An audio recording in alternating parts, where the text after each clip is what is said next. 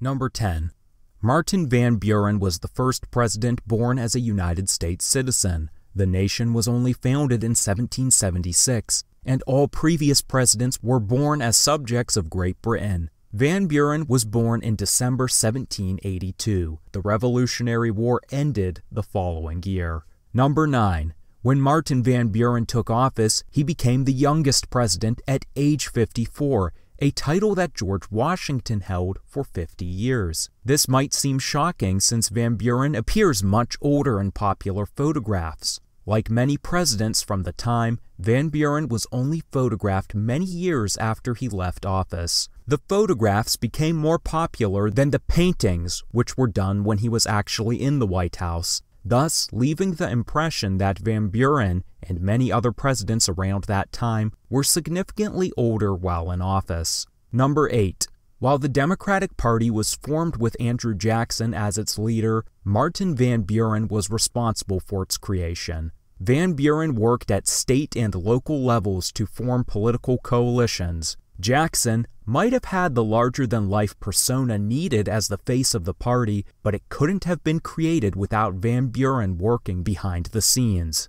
Number 7. After Thomas Jefferson and Andrew Jackson, Van Buren was the third single man elected president. He, like his predecessors, was a widower. His wife died 18 years before he took office and he never remarried. Little is known about his wife Hannah. In fact, Van Buren didn't even mention her in his autobiography. Number 6. Little Magician and Sly Fox were nicknames given to Van Buren. Both names referenced his small stature, slim and standing at only 5 feet 6 inches, and his political skills. Little Magician was given by allies for his ability to craft seemingly impossible alliances and deals. Sly Fox was given for the same reason, but with more of a negative outlook. John C. Calhoun, who Van Buren eventually replaced as vice president, saw him as sneaky and conniving. Quote, he is not of the race of the lion or the tiger. He belonged to a lower order, the fox. Number 5. Martin Van Buren had a complex relationship with slavery. As president, during a time when tensions over slavery were growing, he took a safe and pragmatic stance. While he did condemn the practice as immoral, he also said that the Constitution gave him no power to interfere with it, and that the abolitionist did more harm than good. Such was the stance of many Northern Democrats. Later in life, he became increasingly opposed to the expansion of slavery, arguing that the Founding Fathers intended for its gradual abolition. Number 4.